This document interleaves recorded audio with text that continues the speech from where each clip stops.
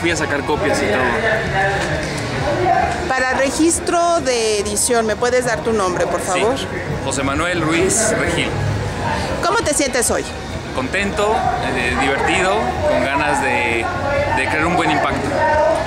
¿Cuál es tu pronóstico para hoy? Se siente muy aguerrido, eh, se ha creado mucha expectativa entre el público. Creo que el promover la poesía como un deporte intelectual en el entorno y en el lenguaje de las luchas eh, del ring genera una gran expectativa y yo traigo una propuesta que puede generar un contraste interesante. Venimos de una larga cadena de éxitos femeninos. ¿Qué crees que pase hoy? Le apuesto a mi parte Jean. Hoy nuestro referee va a ser nuestra última campeona en, en este torneo. ¿Cómo lo ves?